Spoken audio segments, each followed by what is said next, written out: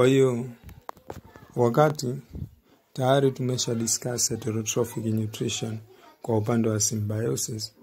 Ina maana sasa tunaendelea na heterotrophic nutrition kwa upande wa saprophytes saprophytes tunaangalia kwa upande wa nini saprophytes saprophytes maanake viumbe ambao watakaoshiriki katika system ya saprophytes wale wote tutakuwa tunaita kama ni saprophytes sasa nani saprophytes ni viumbe ambao kikawaida wanaenda kudecompose dead organic matter. Manake wao tuseme mfano kama vile tuseme kuna kigogo. Ina maana hichi kigogo ambacho kilichopo hapa ye ndio ambacho sikitakuwa kime contain nutrient kwa sababu ni living organism kilikuwa lakini tayari kimeshapoteza uhai. Ina maana yeye anaenda kudecompose material iliyokuwa mle baadaye anayafyonza akishayafyonza baadaye anaenda kuyafanya nini? Anayatumia.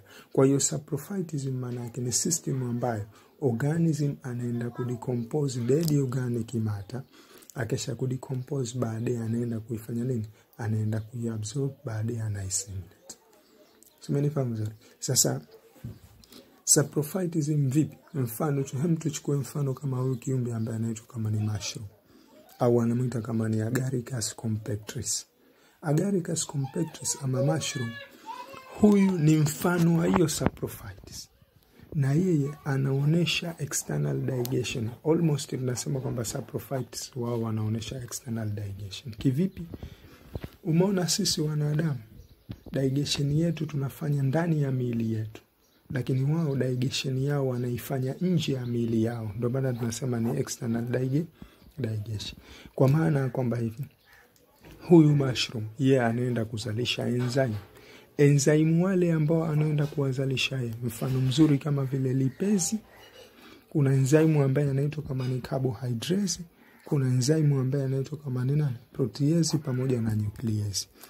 Umeona hizi hapa niloziandika hapa lipid carbohydrate protein pamoja na nucleic acid hizi zitakuwa zinapatikana ndani ya hichi kigogo. Utaanza kujiuliza swali je kazipata wapi? Hii si alikuwa kiumbe hai. Ina maana hizi zitakuwa alikuwa nazo kafa nazo au si? Utajiuliza swali.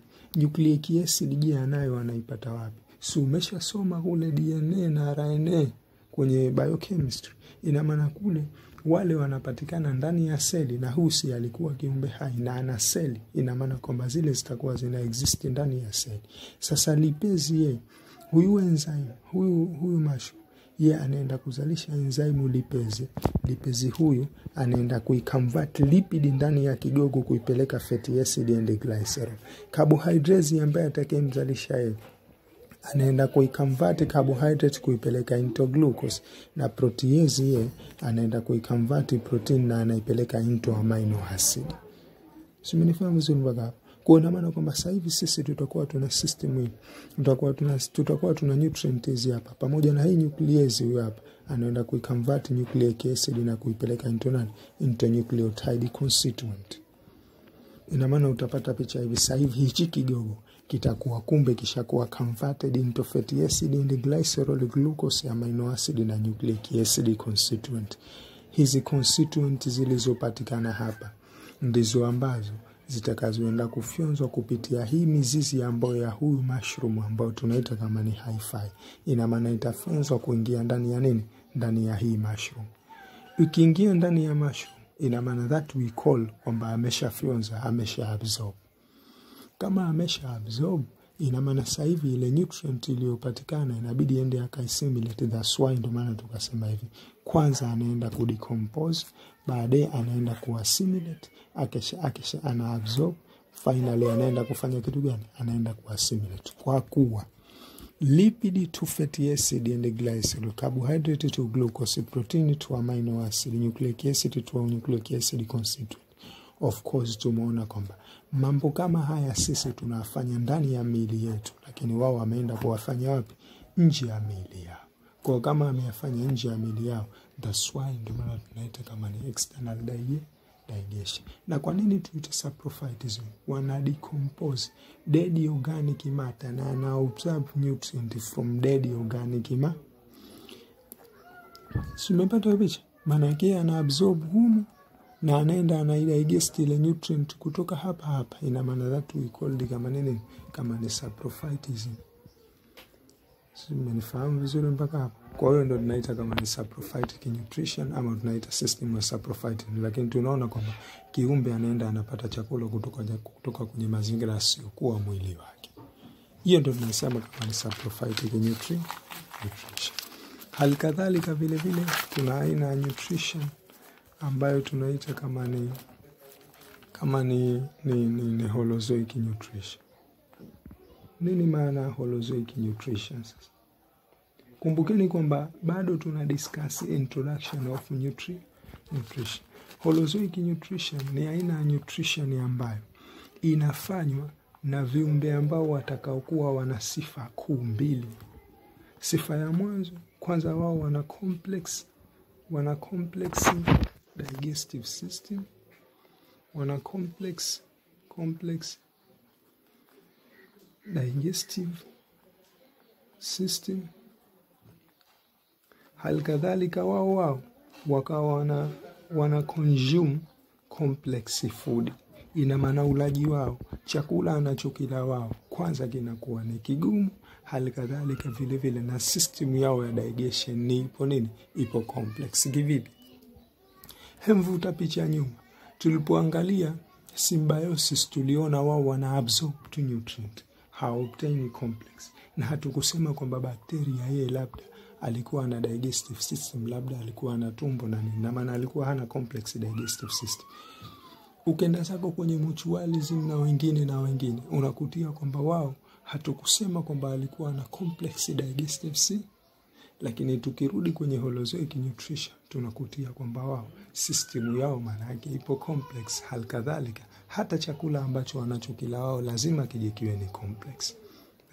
Sasa holozoic nutrition ina maana kwamba tukiangalia, ukianza kuvuta picha sasa, basi tuna uwezo wa kuigawa hii katika makundi makuu manne.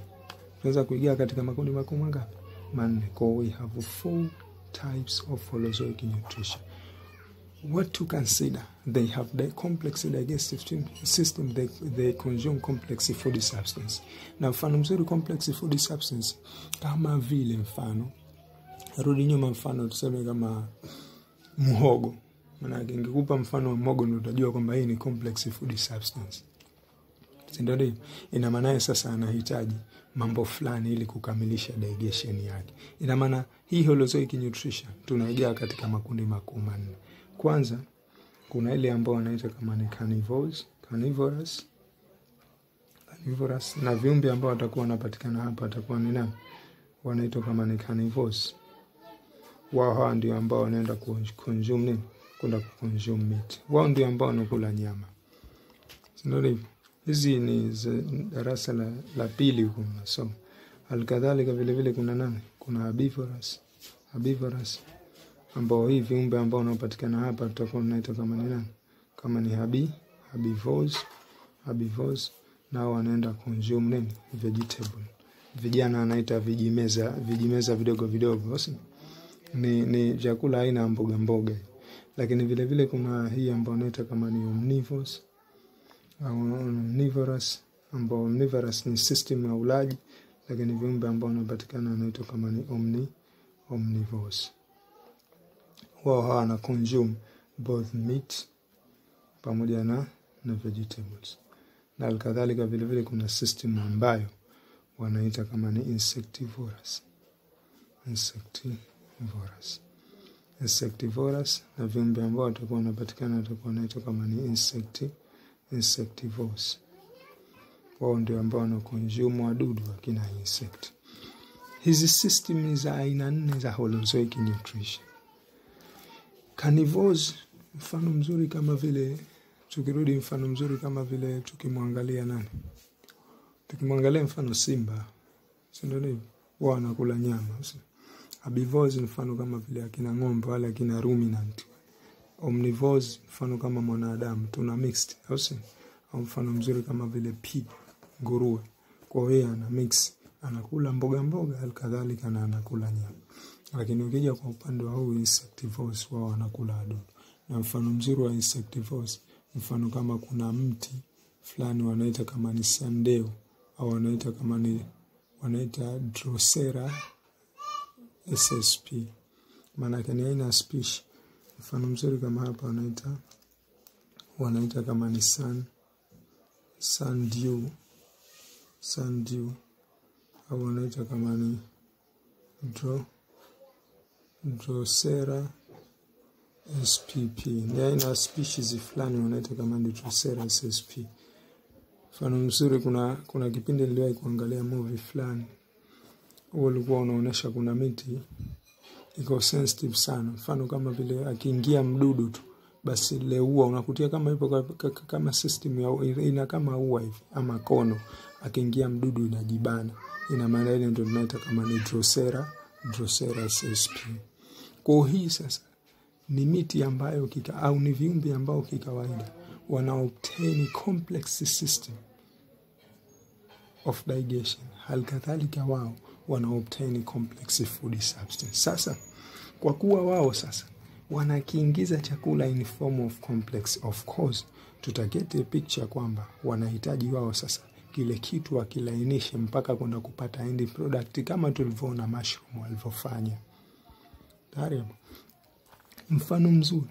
Je hawa sasa ile path kile chakula kitakuwa kinapitishwa kwa njia ipi? Hiyo holozoic nutrition. Ina maana holozoic nutrition path yao kwanza. Vuta picha hebu. Kama kitakuwa ni complex basi yeye inambidi sasa ende kwanza akaingesti ende akakiingize kichwani. Ende akaingize kinywani osi ina maana pale hii tuseme ni kuingiza chakula lakini kuingia ndani ya buccal cavity maanake kukiingiza chakula ndani ya kinywa. Chakula kama atakiingiza ndani ya kinywa ina maana ni taking in of food. Lakini kuingia ndani ya nini?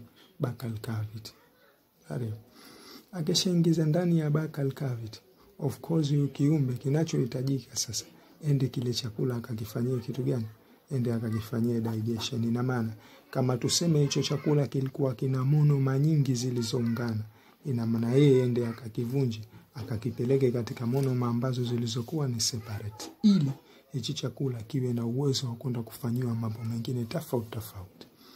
Kwa hiyo holozoic nutrition ni aina ya nutrition ambayo kiumbe lazima ende akakiingize chakula ndani ya mwili wake kupitia buccal cavity akisaga akisha kisaga nini ya tatu sasa ende akafanye akafanye nini? Ina maana huyu ende akafanye absorption. Ende akafanye kitu gani? Absorption. Si umeona? Jalia mfano hili hapa ndo system zile monomers zishapelekwa katika separate separate. Huu si ndo mwili wa kiumbe. Inabidi hii si ndo digestive system ambayo tunaita complex digestive system ina maana yeye lazima ende akakiabsorb kiingie ndani ya nini? Ndani ya mishipa ya damu. Kitoke kwenye digestive system na kende kikaingia katika nini? Blood capillary. That we call kama ni absorption. Anapoenda kufanya absorption baadaye sasa anatakiwa ende kile chakula ende akakitumie, ina maana lazima ende akakifanyia nini? Assimilate assimilation. Si umeona hapa chakula huu kisha kiingiza ndani ya mishipa ya damu ina maana kama ashaingiza ndani ya mishipa ya damu humu si mna seli. Ina maana kama mna seli kile chakula kinatakiwa sasa kende kikatumike ndani ya seli. Ina maana tunaweza kusema kwamba hii system ndio inaitwa kama nini? Assimilation. Kakiingiza chakula ndani ya mdomo kakidigest na maana digestion tutapata picha kwamba ni ile breaking down ya large monomer into separate monomer. So, large polymer into separate monomer. Lakini absorption maana yake tunasema kwamba ni ile ni, system ya kwamba kile chakula kinatolewa kutoka kwenye digestive system na kinaingizwa ndani ya mishipa ya damu. Lakini tunapozungumza assimilation maana ni ile system ambayo sasa kile chakula kinaenda kuwa utilized within the cell. That we call kama ni metabolism. Simenifahamu vizuri? Kwao tunapoimalizi tunapo tunapoangalia sasa assimilation chakula ambacho. Angalia sasa. Hichi chakula wakati kimepelekwa katika monoma ina maana kuna molekuli zitaenda kufyonzwa lakini kuna molekuli ambazo zitakuwa haziwezi kusagika na kuna nyingine automatic hazisagiki. Kuna nyingine hazikusagwa vizuri na kuna nyingine hazisagiki. Ni zipi ambazo hazisagiki? Mfano kama vile cellulose Cellulose maana yake hatuna enzyme ambayo inaitwa kama cellulase, mfano kama sisi. Ina maana zile zitahitajika sasa zende zikafanyiwa kitu gani? Egation, zende zikatolewa. Ina maana hii ni out, hii hapa nini? Hii ni in. Tunaingiza, mwisho tunaenda tunafanya nini? Tunatoa. Baada ya haya mambo haya hapa kupita na batari tumesha discuss. Ina maana kwamba egation that is external while ingestion that is internal. Ina maana tunaingiza inward that is outward. Simenifahamu vizuri mpaka. Ina maana hii ndio ninasema kama nini? Ni path of holozoic nutrition. Sasa holozoic nutrition hii tukiangalia vizuri, hebu turudini pale kwenye digestion. Umeona pale kwenye digestion, chakula tunakitoa from large polymer, ndo tulivyosema, na tunakipeleka into separate monomer, si ndo ndio? Lakini sasa hii system ya kuipeleka into separate monom inategemea, kuna ile system ambayo physically we focus. Maana yake tukienda tukaangalia, mfano ukichukulia mchi na kinu, unapoitwanga ile mboga ina maana unakutia kwamba uliliingiza jani zima usi si, lakini linakatika vipande vipande, na kuna system ambayo naweza kuchukua chemical mie baada ya kupatikana vile vipande vidogo vidogo, nikaenda nikaingiza chemical vikasagwa vyote vile vikazidi kuwa vidogo, na bila ya kuona ni usagaji unatokea katika system gani. Kwa hiyo that we call kama ni chemical, kama ni chemical digestion. Ina maana kwamba hivi tunaweza kusema digestion nayo tunaigawa katika makundi makuu mangapi? Mawili. Kuna digestion ambayo inaitwa kama ni mechanical digestion na kuna digestion ambayo tutakaenda kuita kama nini? Kama ni chemical chemical digestion, kama ni chemical digestion. Kwa tutakuwa tuna mechanical digestion halikadhalika na tuna chemical digestion. Angalia hivi, umeona mechanical digestion na chemical mechanical digestion, jalia hili mimi na, na pande la mhogo hili ya Pande la mhogo hili linapelekwa into separate small particle, lakini hizi small particle hizi, hii moja ukenda ukaichukua inaenda kuingiziwa chemical. Humu, si mtakuwa mna a zilizogandana a a. Hizi a a sasa zinaenda kupelekwa into separate a a a a a, a. This we call the chemical kwa sababu imeinvolve breaking down of bond, lakini huku tumeenda kuinvolve a physical digestion that we call kama ni mechanical digestion. Tare.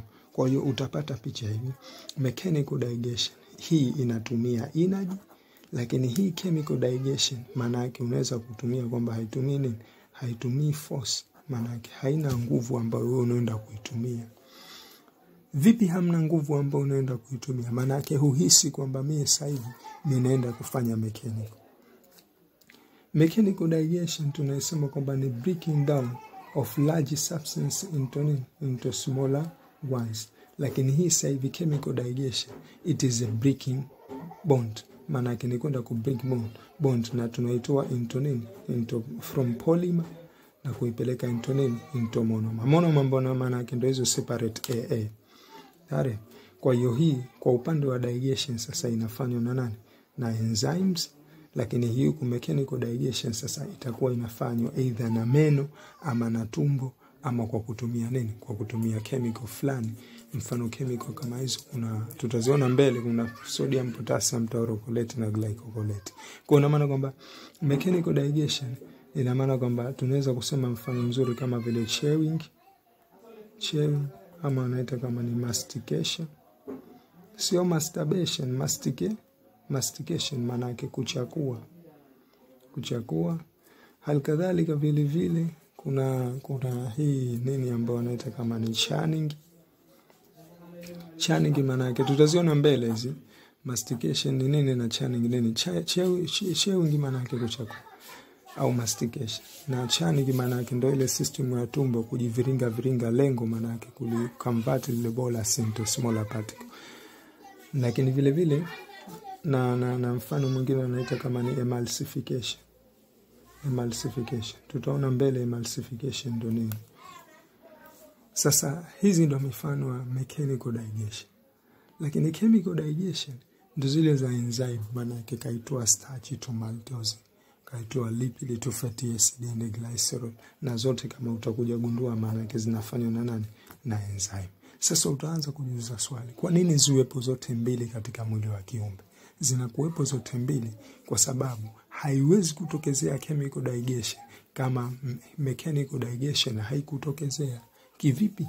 Umeona hili pande zima la mhogo, enzyme hawezi kwenda kuingia mpaka ndani akasaga kila kitu, isipokuwa lazima arahisishiwe ipelekwe into nini, into smaller ones. Baadaye ile smaller ones ndo ajiandae aitumie nani, enzyme. Kwa hiyo tunaweza kusema kwamba mechanical digestion ina msaada kwanza, ina facilitate chemical digestion, ina facilitate nini, chemical digestion digestion simenifahamu vizuri. Lakini vile vile, hemvuta picha kwa mfano, kile chakula kilichomo ndani ya mdomo kingewezekanaje kumezwa kile pande zima la mhogo? Ina maana ina msaada hata food path, food path au food passage through gut, maana yake chakula vile vile kianze kupita kupitia nini? Kupitia ile gut. Simenifahamu vizuri. Kwa hiyo ina facilitate chemical digestion, enzyme waweze kufikia kile chakula, halikadhalika vile vile food pass. Na sometime unaweza kusema ina facilitate chemical digestion, na maana ina increase rate of chemical reaction. So unajua maana yake particle surface area ikiongezeka, rate of chemical reaction inaongezeka. Na maana hapa tukiingiza particle nyingi, na maana rate of chemical reaction itazidi kuongezeka. Wa hadha, assalamu alaikum, and that is how we discuss ni kitu ambacho tunaita kama ni kama ni introduction of nutrition.